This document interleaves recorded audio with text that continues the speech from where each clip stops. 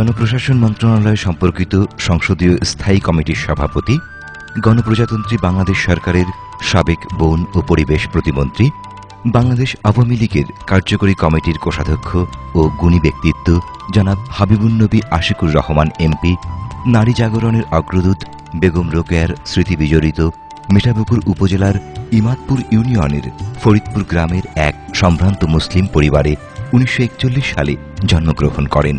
তাঁর পিতা আব্দুর রহমান ছিলেন উনিশশো সাতাশ সালে ঢাকা বিশ্ববিদ্যালয়ের বিজ্ঞান অনুষদে এমএসসি বা স্নাতকোত্তর শ্রেণির একমাত্র মুসলিম ছাত্র ও সম্ভবত এই এলাকার প্রথম মুসলিম গ্রাজুয়েট।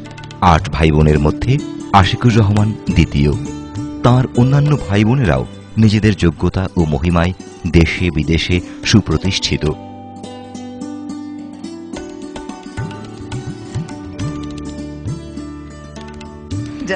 নবী আশিকুর রহমান, উত্তরবঙ্গের রংপুর জেলার মিঠাপুকুর উপজেলার সতেরো নম্বর ইউনিয়ন, ইমাদপুর ইউনিয়নের ফরিদপুর গ্রামের মিয়াবাড়িতে এক সম্ভ্রান্ত মুসলমান পরিবারে তার জন্ম। তার বাবা জনাব আব্দুর রহমান। তিনি উনিশশো সাতাশ সালে একমাত্র মুসলমান স্টুডেন্ট ঢাকা ইউনিভার্সিটিতে সায়েন্স ফ্যাকাল্টিতে ছিলেন। তো তিনি খুব মেধাবী ছিলেন। তার আট সন্তান। আট সন্তানের মধ্যে বড় সন্তান মিসেস মাজেদা বানু। তিনি সরকারি, যশোর সরকারি মহিলা কলেজে তিনি অধ্যাপনা করেছেন ও সারা জীবন অধ্যাপনা করে রিটায়ার করেছেন। তিনি হিস্ট্রিতে ইতিহাসের শিক্ষক ছিলেন। তারপরেই জনাব আশিকুর রহমান। জনাব আশিকুর রহমানের পরে জনাব শাইকুর রহমান টুকু। তিনি ম্যাথমেটিক্সে মাস্টার্স করেছেন ঢাকা বিশ্ববিদ্যালয় থেকে। ব্যবসায়ী ছিলেন। ট্যানারি ছিল, বিভিন্ন রকম ধরনের ব্যবসা ছিল। দুর্ভাগ্যক্রমে তিনি বেশ কিছুকাল আগে ক্যান্সারে আক্রান্ত হয়ে মৃত্যুবরণ করেন। তারপরে দু বোন, একজন হলেন রাশিদা সুলতানা, আরেকজন হলেন ফরিদা সুলতানা। দুজনেই মাস্টার্স বিশ্ববিদ্যালয় থেকে এবং একজন ছিলেন ইকোনমিক্সে আরেকজন সাইকোলজিতে মাস্টার্স। তাদের দু বোনের বড় বোন যিনি রাশিদা সুলতানা, তার হাজবেন্ড ইঞ্জিনিয়ার ছিলেন। ফরিদা সুলতানা, তার হাজবেন্ড ছিলেন ডিআইজি ডিআইজি পুলিশ। চট্টগ্রামে ডিআইজি রেঞ্জ ছিলেন। পরে তিনি স্বেচ্ছায় চাকরি ছেড়ে দেন। তারপরে আরও দু ভাই, জনাব সাইদুর রহমান এবং জনাব জাহেদুল হাসান মুশফিকুর রহমান।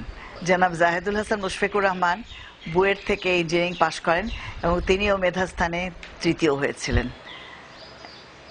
তিনি আমেরিকায় যে পিএইচডি করেন এবং তিনি JPL NASA jet propulsion laboratory NASA, যারা স্পেসে রকেট পাঠাচ্ছে, বিভিন্ন রকমের গবেষণা করছে, সেখানে তিনি সিনিয়র ইঞ্জিনিয়ার গত প্রায় তিরিশ বছর ধরে কর্মরত জেপিএল নাসাতে। আরেক ভাই সাইদুর রহমান, তিনি ব্যবসা করেন, তিনিও মেধাবী এবং আসলে ওরা সবাই মেধাবী। আমার শ্বশুর সবসময় বলতেন যে, আমাদের ছেলে, আমার ছেলে মেয়েকে নিয়ে কখনো লেখাপড়ার জন্য বেগ পেতে হয়নি। সবচেয়ে ছোট যে বোন, সেই শুধু চাকরি করে নাই কিংবা সে সে হাউস ওয়াইফ ছিল। তাদের ছেলে মেয়েরা সবাই লব্ধ প্রতিষ্ঠিত। আশিকুর রহমান সাহেবের ভাইয়ের ছেলে, মেয়ে, বিভিন্ন দেশে দেশে বিদেশে আছে এবং সবাই লব্ধ প্রতিষ্ঠিত, সবাই লেখাপড়ায় ভালো এবং তারা স্ব মেধাই তারা উপযুক্ত স্থানে আছে।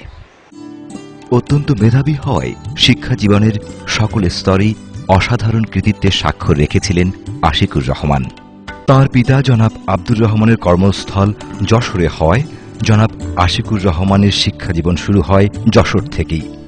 তিনি উনিশশো ছাপ্পান্ন সালে মাধ্যমিক ও উনিশশো আটান্ন সালে উচ্চ মাধ্যমিক পরীক্ষায় সমগ্র পূর্ব পাকিস্তানের মেধা তালিকায় স্থান লাভ করেছিলেন।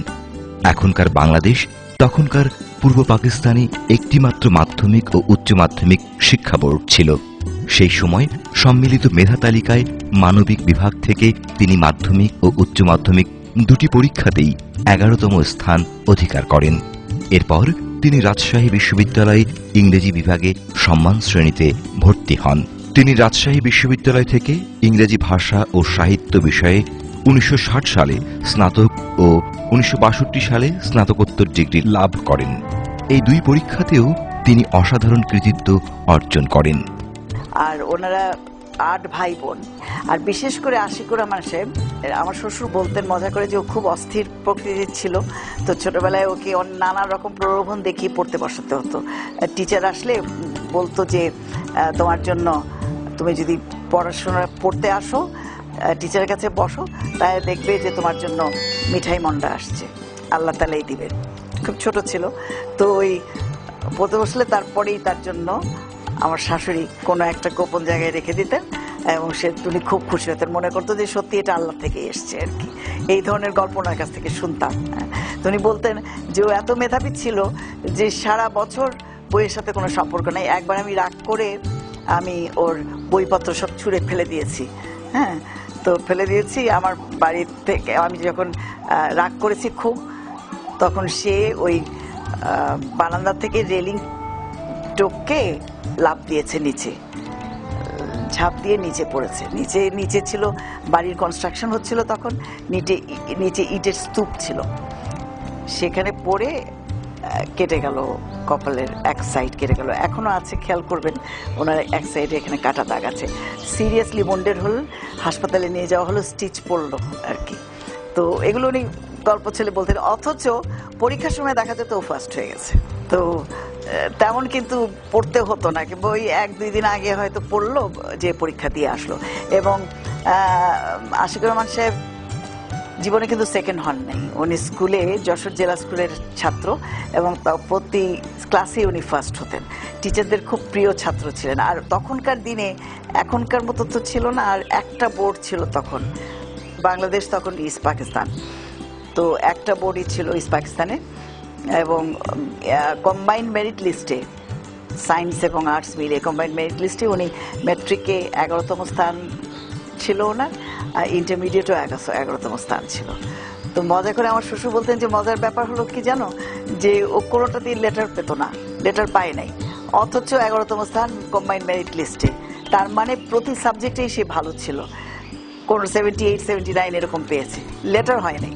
হ্যাঁ প্রতিটাইতেই ভালো। অনেকেই আছে না যে বাংলায় কাঁচা কিন্তু অঙ্কে খুব ভালো সায়েন্স সাবজেক্টগুলো খুব ভালো, ওইভাবে স্ট্যান্ড করে গেল।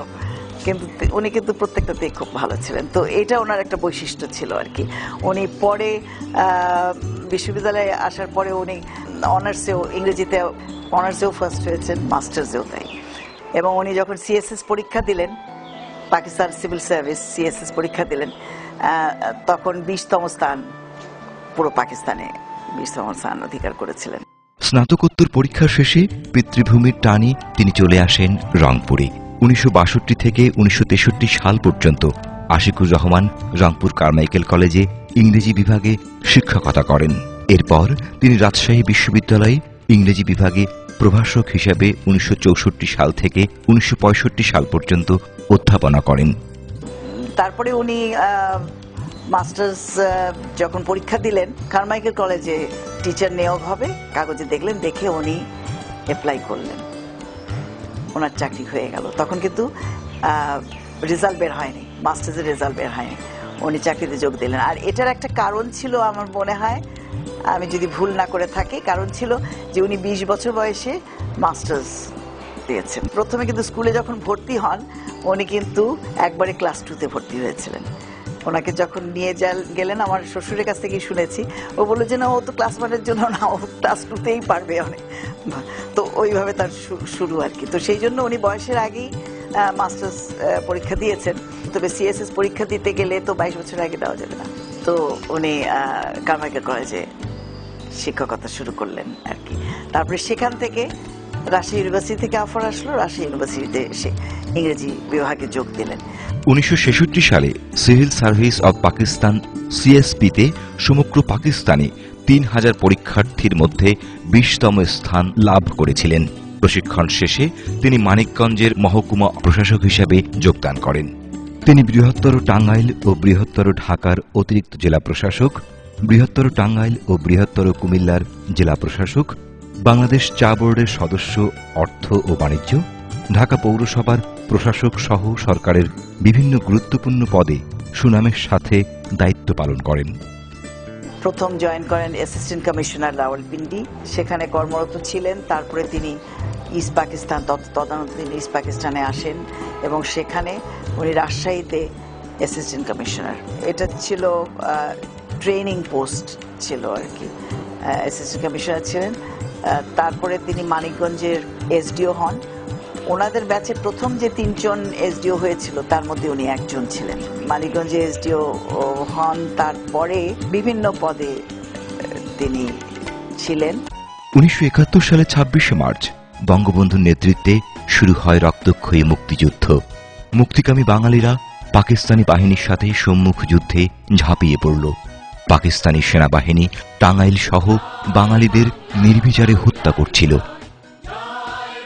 উনিশশো একাত্তর সালের মাঝামাঝি সময় টাঙ্গাইল জেলার অতিরিক্ত জেলা প্রশাসক হিসাবে দায়িত্বপ্রাপ্ত হন জনাব আশিকুর রহমান। পরবর্তীতে জনাব আশিকুর রহমানকে জেলা প্রশাসক হিসেবে নিযুক্ত করা হয়। মুক্তিযুদ্ধ চলাকালীন তিনি কৌশলে টাঙ্গাইলে মুক্তিযোদ্ধাদের নানাভাবে সহযোগিতা করেছেন। যুদ্ধের দুঃসহ মুহূর্তে জীবনের ঝুঁকি নিয়ে টাঙ্গাইলের বিপদাপন্ন সাধারণ মানুষের পাশে থেকে যেভাবে সহযোগিতা করেছেন সেজন্য টাঙ্গাইলবাসী এখনও তাকে কৃতজ্ঞতার সাথে স্মরণ করে। টাঙ্গাইলে এডিসি হিসেবে জয়েন করার কয়েকদিন পরেই তখন গ্যাজেট নোটিফিকেশন দিয়ে নতুন ডিসি না নিয়ে সেখানে আশিক রহমান সাহেবকে ডেপুটি কমিশনারের চার্জ দেওয়া হলো। টাঙ্গাইলে থাকাকালীন অবস্থায় এটা খুব, খুবই একটা কঠিন পরিস্থিতি ছিল। মুক্তিযুদ্ধ যারা করতে গেছে, তাদের সেই পরিবারগুলোকে বাঁচিয়েছে, নানা রকমভাবে সহায়তা দিয়েছে, সহযোগিতা করেছে। সেই পরিস্থিতিতে তিনি তাদের সাথে এমনভাবে কাজ করেছেন, দেখিয়েছেন যে তিনি তাদের হয়ে কাজ করছেন। কিন্তু তিনি বহু পরিবার, হিন্দু পরিবার এবং অনেক মুক্তিযোদ্ধাদের তিনি প্রাণ বাঁচিয়েছেন। সদর বাহিনী ছাড়া সকলেই কিন্তু বাংলাদেশের পক্ষে ছিল, বঙ্গবন্ধুর পিছনে একতবদ্ধ ছিল। এবং আমরাও তার ব্যতিক্রম ছিলাম না। আমি মানুষকে সাহায্য, সেবা দেওয়ার চেষ্টা করেছি এবং অনেক জীবনে বাঁচিয়েছি যে একটা বিপদ, সংকুল পরিস্থিতি যখন পরিবারও বিপদ, ঝুঁকির মধ্যে ছিল। এবং এই কারণে টাঙ্গাইলের মানুষ আমার প্রতি কৃতজ্ঞতাবদ্ধ। অর্থনৈতিকভাবে যাতে মাথা তুলে দাঁড়াতে না পারে, সেজন্য যুদ্ধ পরবর্তী সব দেশে শত্রু বাহিনী সাধারণত ব্যাংকের টাকা পুড়িয়ে দেয়। উনিশশো একাত্তর সালের বিজয়ের প্রাককালে পাকিস্তানি সেনাবাহিনী টাঙ্গাইলে ব্যাংকের টাকা পুড়িয়ে দিতে চাইলে তিনি তা সুকৌশলে রক্ষা করেন। উনিশশো একাত্তর সালে ডিসেম্বরে বাংলাদেশ স্বাধীন হলে আশিকুর রহমানের পত্নী রেহানা আশিকুর রহমান নিজের শাড়ি কেটে পতাকা তৈরি করে প্রথম টাঙ্গাইল জেলা প্রশাসকের বাসভবনে উড়িয়েছিলেন। টাঙ্গাইলে দুর্বিষহ জীবন ও সেসব বিষয় আশিকুর রহমান ও তার পত্নী বহুবার গণমাধ্যম নিবন্ধে প্রকাশ করেছেন। উনিশশো একাত্তর সালে আপনি টাঙ্গাইলে ডিসি ছিলেন। জি। একজন সিএসপি অফিসার ছিলেন এবং পরিবেশ মন্ত্রী ছিলেন একটা সময়। তো আমরা একটু স্মৃতিচারণ করি। কারণ আমাদের সামনে একজন বিখ্যাত ব্যক্তি বসে আছেন। ভালো লাগছে আমরা রূপান্তরে আড্ডা দিচ্ছি। কাজে কর্মে ছিলাম আর বিখ্যাত খুব ব্যস্ত জীবন কাটিয়েছেন। একটু বলেন দর্শকদেরকে। মানে একাত্তর সালে যখন আমি টাঙ্গাইলের মাঝে মানে একাত্তর সালে মাঝে জুন জুলাই থেকে আমি টাঙ্গাইলের চার্জে ছিলাম। জিনিসটা খুব কঠিন ছিল। কঠিন ছিল একদিক দিয়ে বিদেশি সৈনিক যারা বাঙালি স্বাধীনতাকে কোনোভাবেই যাতে মানে না হয় সেই চেষ্টায় অসম্ভব নিষ্ঠুর এক সেনাবাহিনী রয়েছে। আবার যদি বাঙালি তার প্রতিও একটা দায়িত্ব আছে। আবার দেখাতে হবে যে একটা আপনি তাদের সাথে সহযোগিতা করছেন না হলে যে কোনো সময় তার ধ্বংস করছে। এটা কঠিন একটা সময় ছিল। তা আমি মনে হয় যে আমি যখন টাঙ্গাইলে ছিলাম এই জিনিসটাই করার চেষ্টা করেছি। মানুষকে রক্ষা করার চেষ্টা করেছি। মানে তাদেরকে যাতে ক্ষতি না হয়। আবার এরা যখন যাচ্ছিল সব থেকে যখন এগারোই ডিসেম্বর টাঙ্গাইল ফল করল তখন সবথেকে কঠিন সময় ছিল। মার খাচ্ছে পালিয়ে যাচ্ছে যাওয়ার সাথে মানুষ মেরে যায়। তো একটা অনেক মানে কষ্টের সাথে একটা মানে একটা সর্ট অফ ব্যালেন্স রাখতে হয়েছিল এবং কোনো ক্ষতি হয় নাই। এবং প্রত্যেকটা লোকে চাচ্ছিল স্বাধীন হবে স্বাধীন হবে ওই সময়টার জন্য অপেক্ষা করছিল। তারপরে তো টাঙ্গাইল প্রথমে স্বাধীন হলো এগারোই ডিসেম্বর। স্বাধীন পরে তারপরে তো ষোলোই ডিসেম্বর ঢাকায় স্বাধীন হলো। এই প্রসঙ্গে আমার একটু হ্যাঁ, মনে হচ্ছে আমি একটু ইন্টারাপ্ট করছি। হ্যাঁ ফেব্রুয়ারি মাসে চলে আসলাম তো তো সেটাই তো কি বলতে চাচ্ছেন বলুন? আমি একটু এই প্রসঙ্গে বলি টাঙ্গাইলের কথা চাচ্ছিলাম হ্যাঁ, হ্যাঁ। হ্যাঁ। আহ, তুমি আমাকে একটা স্মরণীয় ঘটনার কথা বলছিলে। এটা আমার জন্য চিরকাল মানে একটা আমি মনে করি একটা বড় ঘটনা এটা। তো এটা বা আমি যখন আমরা যখন টাঙ্গাইলে আমি তখন একেবারে নিউলি ওয়েড আর কি নতুন বিয়ে হয়েছে। অনেক কিছুই বুঝতাম না। কিন্তু এই যে ভয়াবহ ব্যাপারগুলো ভয়- মানে বম্বিং শেলিং হচ্ছে চতুর্দিকে হচ্ছে যে কোনো সময় যে কোনো কিছু হতে পারতো। আল্লাহর অশেষ মেহেরবানি যে আমাদের কোনো দিকে কোনো সমস্যা হয়নি। কিন্তু উনি তো একদম বিপদের মুখেই ছিলেন সব সময় ওরা জোর করে নিয়ে যেত ডিসিকে তাদের সাথে নিয়ে যেত। রাতে দুটো তিনটার সময় ফিরতেন। কখন কি হয়? মানে একটা ইয়াং মানে মহিলা বিয়ে হয়েছে তুমি বুঝতেই পারো মানসিক অবস্থা কি। তারপরে যখন এগারোই ডিসেম্বর যখন স্বাধীন হলো সে যে কি উত্তেজনা কি মানে ভালো লাগে এটা প্রকাশ করা যাবে না। আজকের প্রজন্ম আমি জানি না বুঝবে কিনা এটা বোঝানো যাবে না। তো আমি তখন মানে ওই ইয়ের মধ্যে চিন্তা করো যে মহিলাদের তখন আর ইয়াং একটা মেয়ে তখনকার দিনে খুব নাম করা শাড়ি ছিল six four four sari Japanese chiffon. Six four four সেই বটল গ্রিন শাড়ি কেটে আমি রাত্রে আমি ফ্ল্যাগ তৈরি করলাম বাংলাদেশের ফ্ল্যাগ করে বাসায় তো ফ্ল্যাগ ওড়ে তো হ্যাঁ, আর আমি তো আমি ছবি আঁকতাম। এগারো তারিখে হলো বারো তারিখ সকালে উড়াইতে হবে আর কি। আমি ছবি ছবি আঁকতাম তো আহ, লাল সূর্য তৈরি করলাম। এবং মোটামুটি ভালো আঁকতাম জিওগ্রাফিতেও ভালো ছিলাম ভূগোলে ভালো ছিলাম যার জন্য ম্যাপটাও আঁকলাম রং করে ওই ফ্ল্যাগ তৈরি করে। আমার নিজের হাতের ফ্ল্যাগ টাঙ্গাইলে প্রথম উঠল। স্বাধীন বাংলাদেশের ফ্ল্যাগ টাঙ্গাইলে ডিসির বাড়িতে এখানে একটা কথা বলি। এটা একটা বিশাল ব্যাপার আমি মনে করি। এগারো তারিখে সব থেকে মানে কঠিন মুহূর্তটা কোন ছিল? যখন আমাকে আর্মি ডেকে বলল একটা প্ল্যান আছে ডিনাইল প্ল্যান যখন শত্রু সৈন্য আসে তখন ব্যাংকের টাকা পুড়িয়ে দিতে হয়। সমস্ত টাকা যে মুদ্রা যেটা মানে যেটা কয়েন্স ওগুলো ছড়িয়ে দিতে হয় ডকুমেন্ট পুড়িয়ে দিতে হয় এয়ারপোর্ট ভেঙে দিতে হয় যাতে শত্রুরা এটা ব্যবহার না করতে পারে। এখন পাকিস্তানে তো আমাদের মুক্তি বাহিনী ভারতীয় বাহিনীর আসছে। এখন পাকিস্তানের চোখে ওটা শত্রু বাহিনী। আমি ওখানকার ডেপুটি কমিশনার। তো আমাকে ডেকে যখন চলে যাচ্ছে ডেকে ওই ব্রিগেডিয়ার কর্নেল বলছে এক্ষুনি যাও যে ডিসিকে সই করতে করে টাকা সব পুড়িয়ে দাও। তো এবং আমাকে ঠিক বিশ্বাস করছে না কেন বাঙালি ডিসি আমার সাথে একজন মেজর দিয়ে দিচ্ছে তারা। তো ওই সময় বললাম যে ঠিক আছে আমি দুই ঘণ্টা পরে টাকাটা পড়াই। এখন পড়াই তো দোষ কি? বলি না দু ঘণ্টা পরেই পড়াই। তো সময়টা তারপরে খুব প্রেশার দিচ্ছে দু ঘণ্টা পর পড়াইতে হবে পড়াইতে আমি ব্যাংকে গেলাম ব্যাংকে বললাম কেরোসিন রেডি আছে নাকি? কাঠ রেডি আছে নাকি? তো ব্যাংকের ম্যানেজার সে দাঁড়িয়েছিল পড়ে গেল নিচে।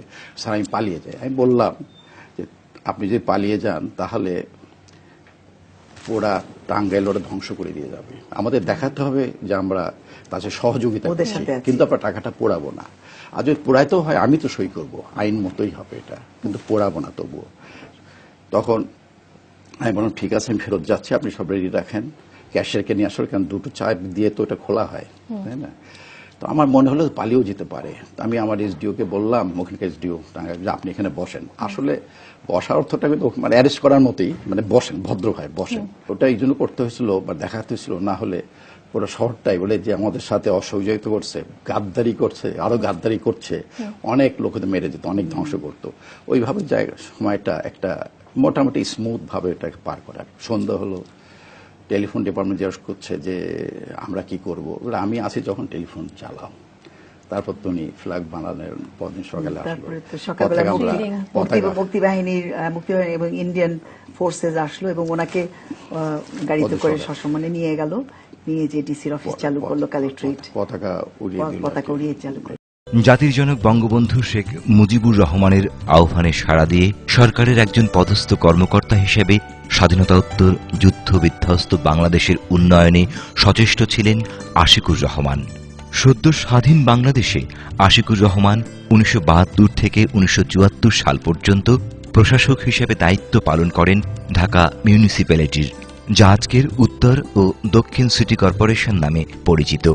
সে সময় ঢাকা মিউনিসিপ্যালিটিতে চরম বিশৃঙ্খলা বিরাজ করছিল। যোগদানের পর অতি অল্প সময়ে তিনি ঢাকা পৌরসভার শৃঙ্খলা ফিরিয়ে আনেন এবং এটিকে একটি লাভজনক প্রতিষ্ঠানে পরিণত করেন। এজন্য বঙ্গবন্ধু শেখ মুজিবুর রহমান তাঁকে অভিনন্দন জানান। তো আমি ঢাকা মিশর অ্যাডমিনিস্ট্রেটর ছিলাম, সে একটা বিশৃঙ্খল অবস্থাও ছিল এবং একটা দু মানুষ খুনও হয়েছিল। তো সেখানে আমি একটা বঙ্গবন্ধু আমাকে দিয়েছিলেন দায়িত্বটা সেই সময়। তো আমি সেখানে শৃঙ্খলা প্রতিষ্ঠা করতে পেরেছিলাম। আর শৃঙ্খলার মধ্যে দিয়ে আমি শুধু সরকারের কাছে একটাই অনুরোধ করেছিলাম যে বঙ্গবন্ধু অসীম উদারতে অনেক কর মাফ করেছেন, কিছু কর উনি রেখেছেন। শুধু একটা তারিখ বসিয়ে দেন যে এই এই তারিখের মধ্যে যদি মানুষ যে সবগুলো যেসব কর মৌকুফ হয়নি, কর যদি না দেয়, যেগুলো মৌকুফ হয়েছে, ওই করগুলোও দিতে হবে। সরকার আমার কথা শুনে একটা ডেট বসিয়ে দিলেন and it work like a magic মানে লোকে লাইন করে টাকা দিতে শুরু করল এবং মিউনিসিপ্যালিটি সচল হলো ওরা বাংলাদেশ চালু করলেন। এবং ঢাকা মিউনিসিপ্যালিটি সহ সব মিউনিসিপ্যালিটি একটা সচল হলো।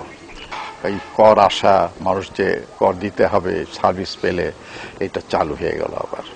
এবং তাছাড়া সেই সময় সমস্ত ঘেরাও হচ্ছিল এই আন্দোলন, ঘেরাও, বিভিন্ন দাবি দেওয়া। এই দাবিতে প্রথম যে ঘেরাও ব্যর্থ হয় সেটা কিন্তু ঢাকা মিউনিসিপ্যালিটিতে ঘেরাও ব্যর্থ হয়। আমি সাহসিকতার সাথে সেটা মুখোমুখি হয়েছিলাম। এবং আমি শুনেছি যে আমাকে যখন ঘেরাও করে রাখা হয়েছিল, তখন এসপি ডিসি ওসি দারোগা কেউ কোনো পদক্ষেপ নেয়নি। শেষ পর্যন্ত এটা মন্ত্রী হয়ে বঙ্গবন্ধুর কাছে গিয়েছিল। বঙ্গবন্ধু বলেছিলেন রেস্কিউ দি অ্যাডমিনিস্ট্রেটর আমি অ্যাডমিনিস্ট্রেটর ছিলাম ঢাকা মিউনিসিপ্যালিটির তখন আমাকে রেস্কিউ করা হয়েছিল।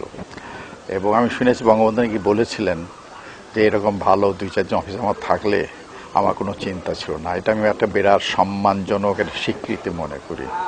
মূলত সে সময় থেকেই তিনি বঙ্গবন্ধুর সহচর্যে আসেন।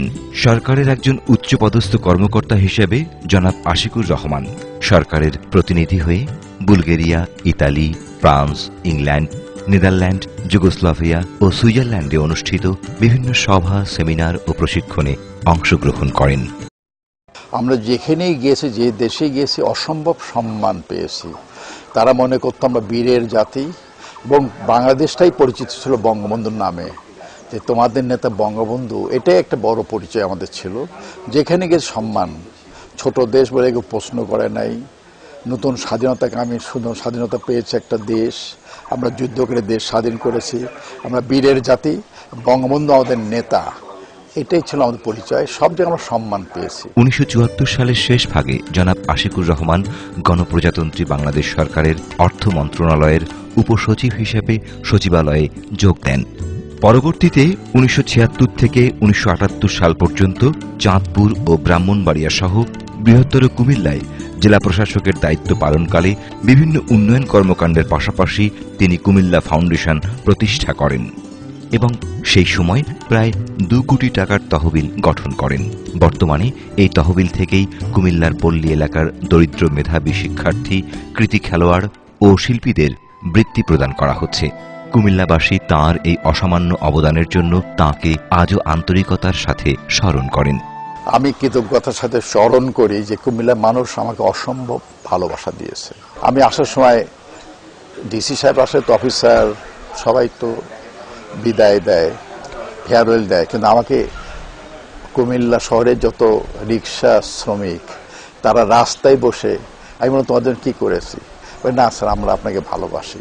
কিন্তু আমি আসার সময় তারা বারের যে সভাপতি নিয়ে এসে আমাকে একটা রেজলিউশন দিলেন, তারা রেজলিউশন করেছিলেন যে আমরা এই ডিসিকে চাই, উনি থাকুক, ওনাকে ট্রান্সফার করবেন না। তা আমার মনে হয়, হয়তো আমি যখন ছিলাম, কি করেছি, না করেছি সেটা বড় কথা না, মানুষ ভাবতো যে ন্যায্যতা প্রতিষ্ঠিত হয়েছে।